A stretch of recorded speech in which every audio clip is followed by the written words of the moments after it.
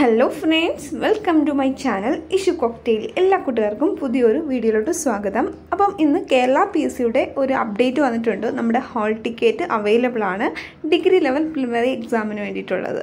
അപ്പം കഴിഞ്ഞ മാസം നമ്മളിങ്ങനെ ആ ഹാൾ ടിക്കറ്റിന് വേണ്ടി പ്രതീക്ഷിച്ചിരുന്നിട്ട് നമ്മുടെ പി എസ് സിയിൽ നിന്ന് മാറ്റി വെക്കുന്ന ഒരു അറിയിപ്പായിരുന്നു വന്നിരുന്നത്. എന്തായാലും സന്തോഷമായിട്ട് നമ്മുടെ ഹാൾ ടിക്കറ്റ് നമുക്ക് എല്ലാവർക്കും കയറി ഡൗൺലോഡ് ചെയ്യാവുന്നതാണ്. പക്ഷേ ഇപ്പം സൈറ്റ് അല്പം ബിസിയാണ് കൂടുതലും ഇരുപത്തിമൂന്നാം തീയതി എക്സാമിനായിട്ടുള്ള ഹാൾ ടിക്കറ്റാണ് വന്നിരിക്കുന്നത്.